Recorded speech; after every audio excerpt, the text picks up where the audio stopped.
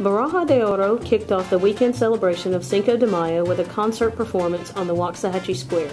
The concert was a free event initiated by Waxahachie native, lead singer, and accordion player of the band, Mario Barajas. In addition, Barajas presented Mary Rivera of Waxahachie with a new Panther accordion from Hohner. Just before the event, Barajas talked about how special it was to play before his hometown crowd. My name is Mario Barajas. I am the lead singer, accordion player for the band Baraja de Oro. Pre-Cinco de Mayo event here in Waxahachie, uh, presented by Plato Local Restaurant. And uh, this is actually our second annual uh, pre-Cinco de Mayo concert that we've done here in Waxahachie.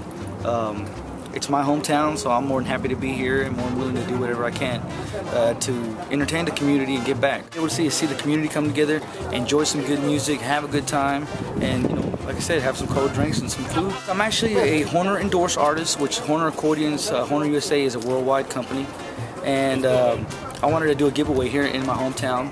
Music was positive in my life, and uh, and it's been positive, and it's been it's been the best thing ever happened to me. And I, just want the I'd love for the same thing to happen for whoever wins it. For the full story, pick up a copy of Sunday's print edition or read it online at waxahachie This has been Melissa Cade reporting for the Waxahachie Daily Light.